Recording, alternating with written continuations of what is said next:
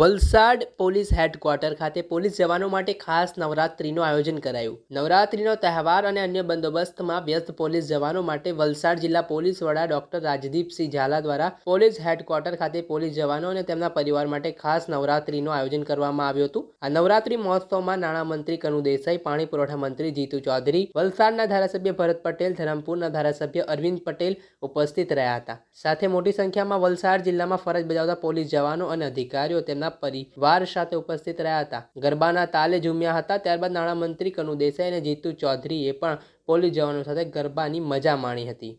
Bureau report Satya day news, Valsad. જો તમે આ વીડિયો ફેસબુક પર જોઈ રહ્યા છો, તો લાઈક અને ફોલો કરો. અને યુટ્યુબ પર જોઈ રહ્યા છો, તો અમારી ચેનલને સબસ્ક્રાઇબ કરો.